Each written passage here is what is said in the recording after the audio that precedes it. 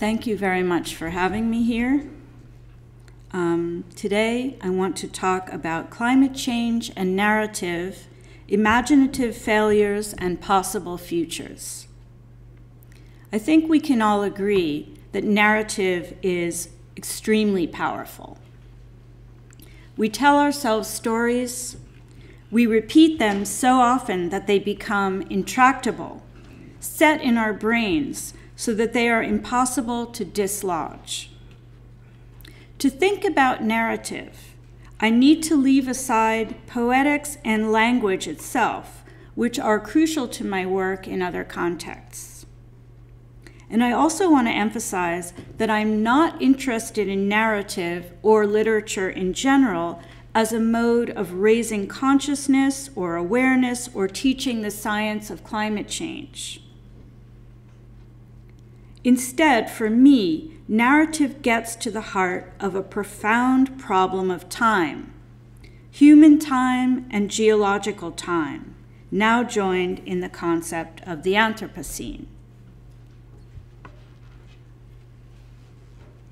So here is a chart which was made where we couldn't put we couldn't represent the beginnings of, of the humans within the Holocene or within the larger era of the Quaternary because it wouldn't function graphically. We could, we'd have to make this chart so much longer, right? So that's where what, what the limits of this chart are.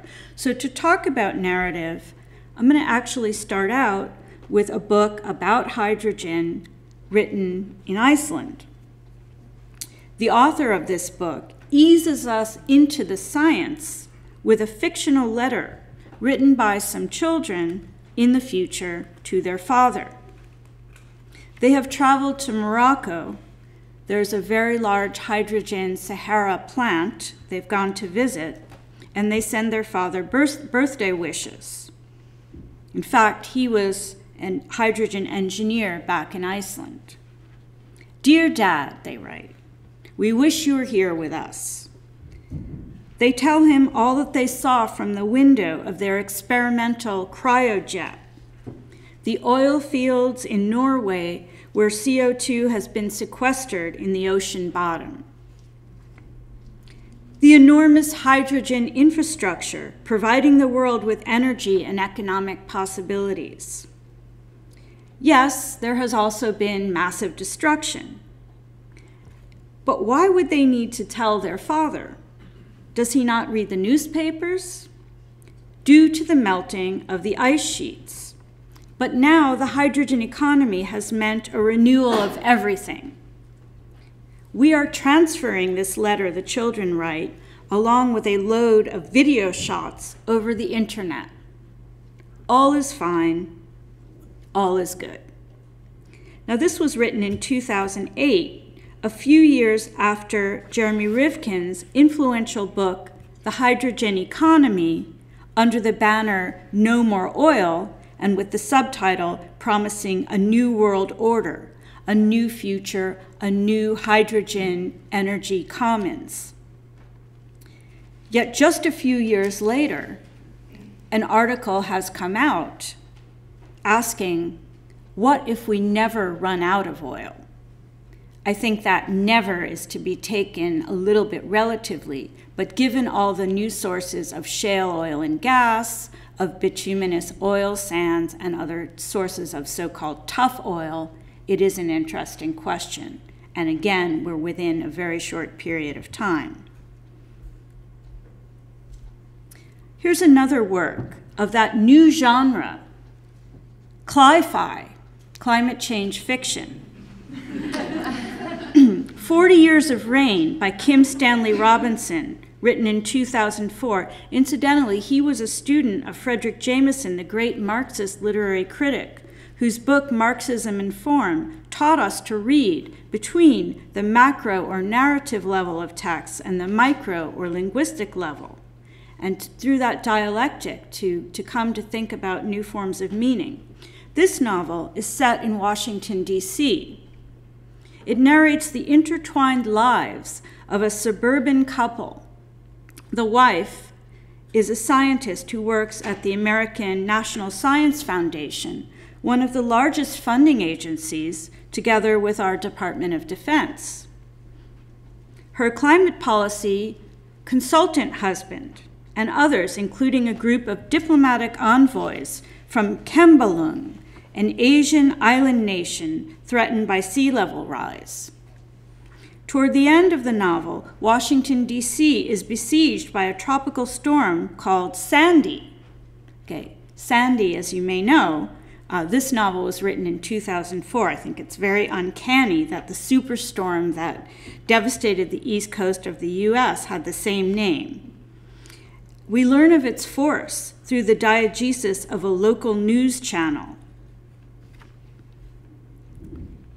Just to give you some context, here is a news reporter uh, reporting on Sandy. Um, so here's what Robinson writes. A very cheerful woman was saying that a big tidal surge had been predicted. She went on to say that the tide was cresting higher than it would have normally because Tropical Storm Sandy's surge was now pushing up Chesapeake Bay. The combined tidal and storm surges were moving up the Potomac toward Washington. All of this, the reporter explained with a happy smile sorry, I could not find an image of a woman reporter reporting on Sandy with a happy smile, so this is the best you have. Now, certainly, the mainstream or for pleasure reader, this is not a, a work of high literature, this reader would be expected to take a certain ironic distance from this prose, to place it in the context of the infotainment sphere which includes weather news, to recognize a disjunction between the affect of the weather lady and the broad frame around her words. Yet one does not have to be a professional reader to make such a critique. It is built into the prose, a plain aperture on the surface rather than a tiny fissure visible only to the expert eye. After a communication blackout of several days, the parents are reunited, together with their two young boys. Safe and sound, at home in Virginia, vowing never again to let so long go by without the ability, the ability to text one another. The storm was so large, and it's transformed DC so fully that now, finally, we hope we cannot do otherwise, since the novel does not contain the possibility of reading it otherwise.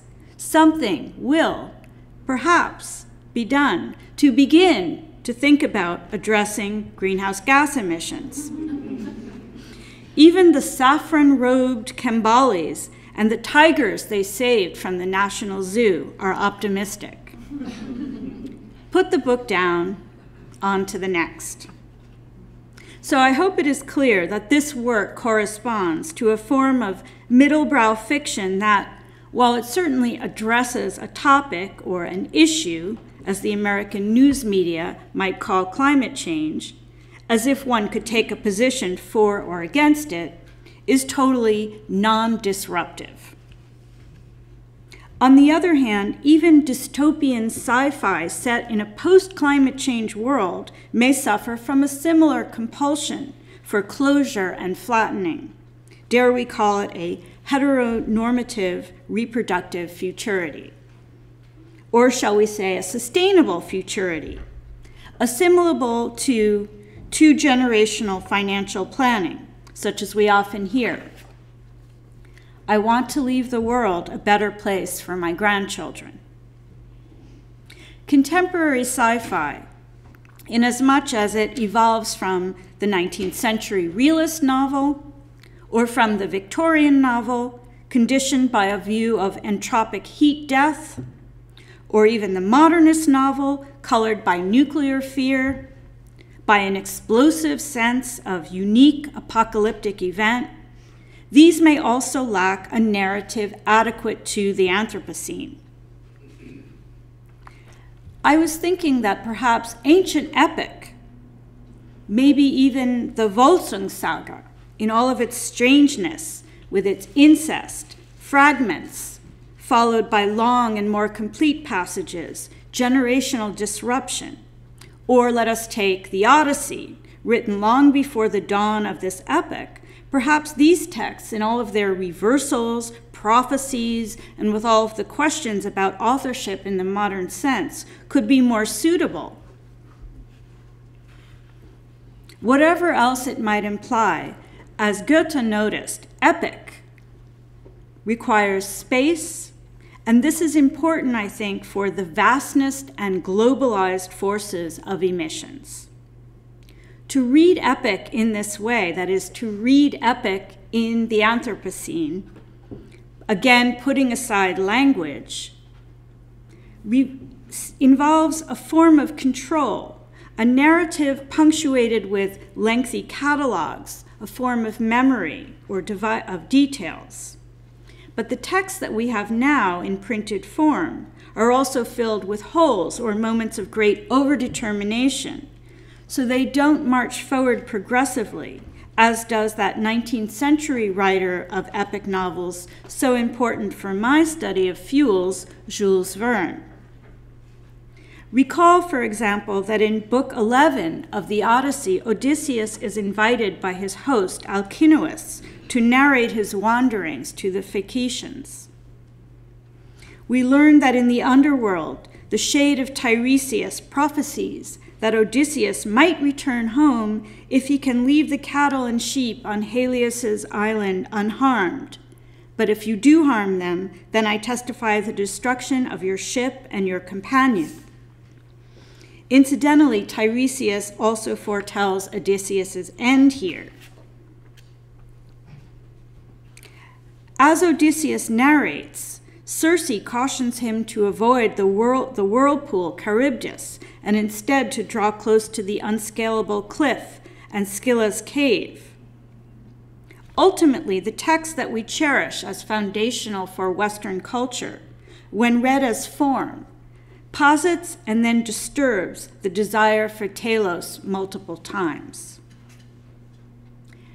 I would say that today, narrative has remained stable, even if we consider new digital forms such as cell phone or Twitter novels. In fact, these may be even more conservative with regard to narrative. Even Walter Benjamin's melancholy over damaged existence fragments, and ruins is not quite right for our times. I want to suggest that our repetition of old embedded narratives, even in climate change fiction, demonstrates nothing less than a singular lack of imagination. We need only think of the ending of the film WALL-E heteronormative robots teach obese Americans how to reproduce, or any number of science fiction films. In fact, I think the best science fiction plunges us directly into the world of the future. And while we might feel uncomfortable there, I mean, isn't that the point after all? We don't need a voiceover to narrate the conditions that have led us there. In a number of recent films um, that have addressed climate change with various degrees of specificity, we do find a kind of closure and a kind of neat um, ability to get into the future um, where we ourselves don't go through the process of trying to think our way in there. The day after tomorrow, directed by Roland Emmerich in 2004, was censored by the right in the US for its biased liberal views and criticized by environmentalists and for its palliative Hollywood plots and CGI. It was also criticized by scientists for its lack of accuracy, but do we really care about the first and second laws of thermodynamics? It was also criticized for its failure as cor corroboration, especially with regard to the temporality of climate shift. This is the term used by manly but humble scientist Jack Dennis Quaid. Quaid has no political agenda. He's a blank slate, who simply happens to observe a, rap- a rapid shift in the climate caused by trapped greenhouse gases from the past, a sign of what is to come if we continue our sins of emission. So the subtle terminological distinction, not using the term climate change but shift, allows the film to proceed as if climate change has been, in fact, a mere theory and as if there is still time for us to repent. The superstorm, as close to apocalypse or revelation as Hollywood can come, finds Jack reunited with his estranged wife and his son, who is united with his girlfriend. There is also, as you may recall, a homeless black man from New York who never abandoned his faithful dog. Recall that at the end, our neighbors in the third world, or better, the southern hemisphere, have taken us in as refugees.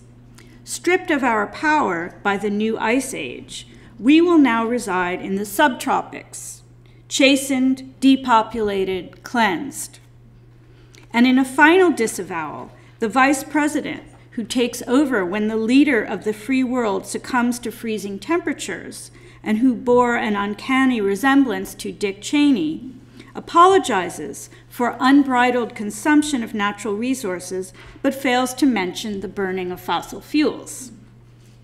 Emmerich must have decided that he had to sacrifice science to narrative demands.